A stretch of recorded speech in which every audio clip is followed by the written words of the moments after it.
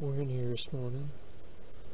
It is November 1st, and the first signs of chasing has happened within the past couple of days. So, right now I'm in between two bedding zones.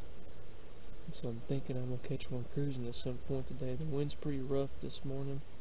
Might be able to hear it in the background. But around 10, it's currently 8 o'clock, so about 10 o'clock, that wind's going to take a drastic drop.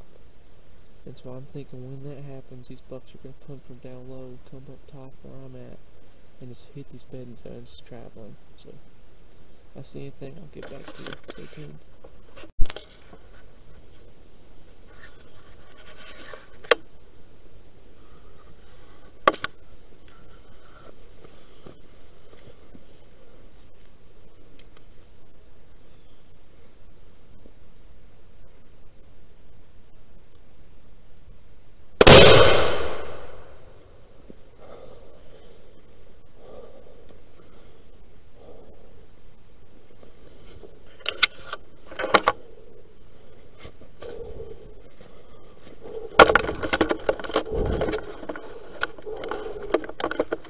Oh,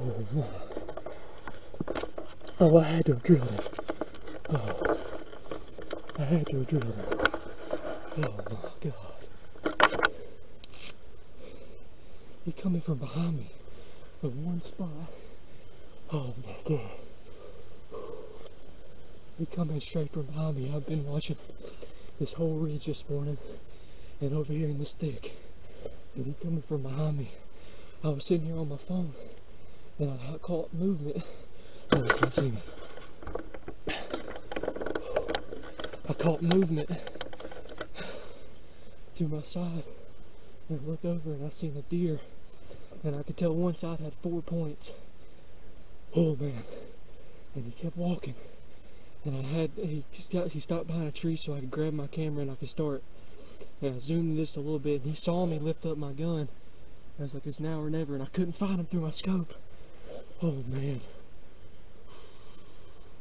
I had to have drilled him. I've had to have drilled him. Oh man. Oh, it's a nice buck. It's a real nice buck.